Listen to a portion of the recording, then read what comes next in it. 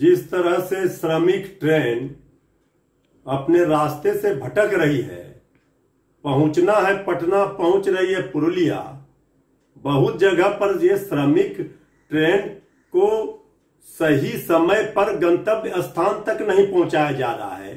ये रेलवे की बहुत बड़ी लापरवाही है और ये दर्शाता है कि किस तरह से गरीब और हमारे श्रमवीर भाइयों के प्रति सरकार संवेदनहीन है।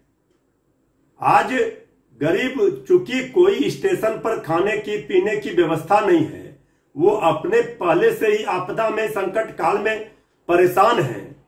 भूख से प्यास से तड़प रहे हैं। उस परेशानियों से वो घर आ रहे हैं।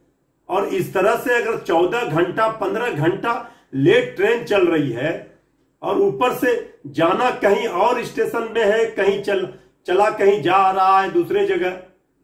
ये बहुत ही गंभीर मामला है और ये सरकार का गरीब विरोधी चेहरा भी इससे उजागर होती है। चूँकि इन ट्रेनों से हमारे गरीब मजदूर आ रहे हैं, इसलिए सरकार को इसकी चिंता नहीं है।